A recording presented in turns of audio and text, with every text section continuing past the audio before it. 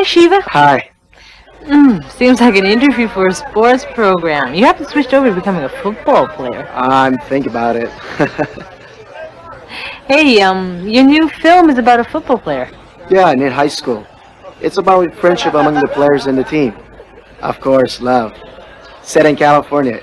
It's a young people's flick. You said love. Oh, that's interesting. Well, it's not just puppy love, that's for sure. Um, have you had any experience in football? No, uh, but I was interested in. I took the audition because I wanted to play. nah, not really. I like people who try hard at something, like the hero. He had football ever since he could remember, like a habit.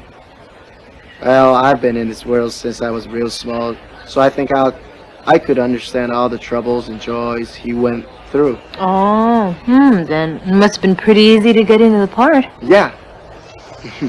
well, I'll leave it up to your imagination as to if I'm as serious-minded yet exciting as he is. Hey, um, how did you get along with the director? Great. He let me play football. uh, he's good at making the actors get into it. He sure made me get into it.